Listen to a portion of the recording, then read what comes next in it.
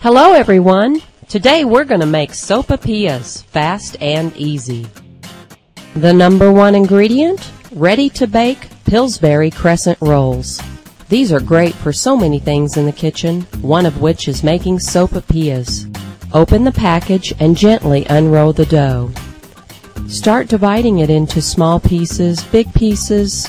You can even get a cookie cutter out and cut it into some really cute shapes. A pizza cutter makes a great tool for cutting the dough into smaller pieces.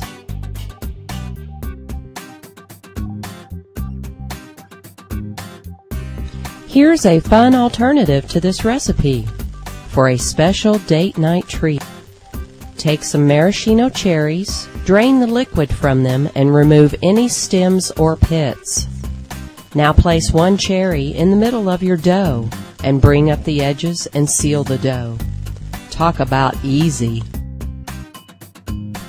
Super important, folks. Make sure you put enough oil into your pan, at least two inches deep.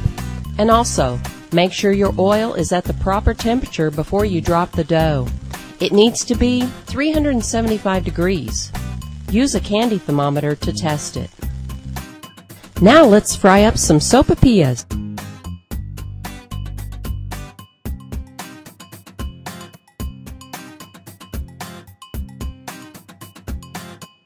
Watch them carefully and turn them when they're brown on one side.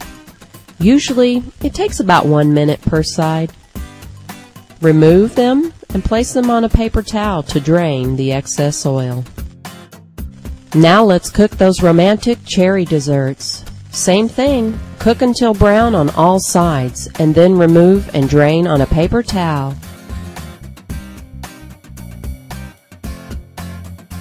Wow, look at them. So light and airy.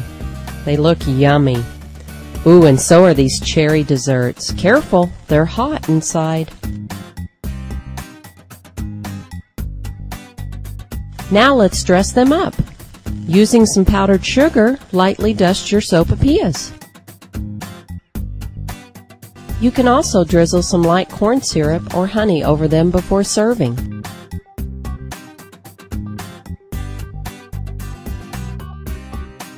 Bon appetit!